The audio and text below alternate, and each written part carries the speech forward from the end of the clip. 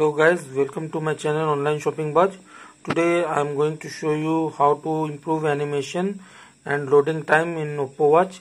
So just stay tuned in this video. So before starting the video i want to request you all that please subscribe to my channel. It will help me to bring new content. Thank you.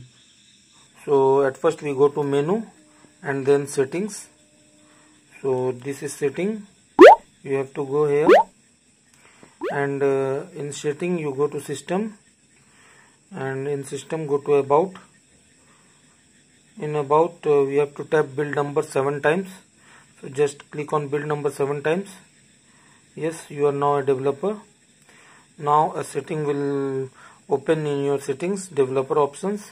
Just go to there and uh, on developer options just uh, set uh, window animation scale transition animation scale and animator duration scale. All to 0.5x yes.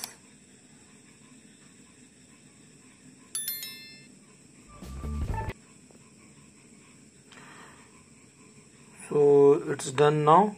Now you will see your watch is fast as mm, from before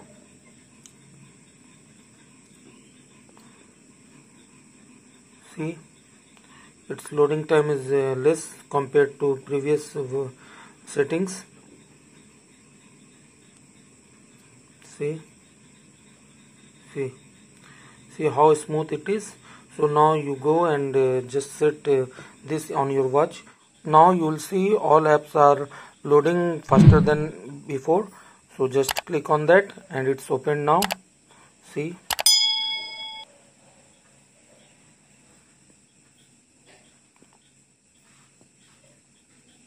let's open play store.